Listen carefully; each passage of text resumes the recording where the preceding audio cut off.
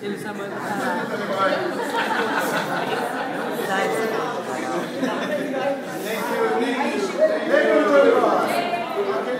Se não tiver ele dentro. Chegou, chegou.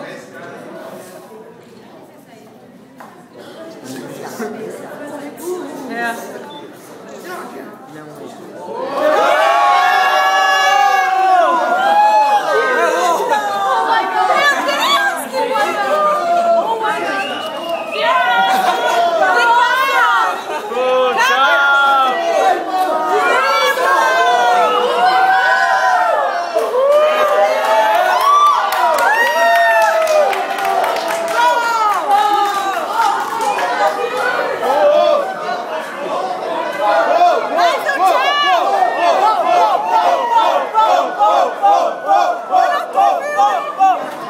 자!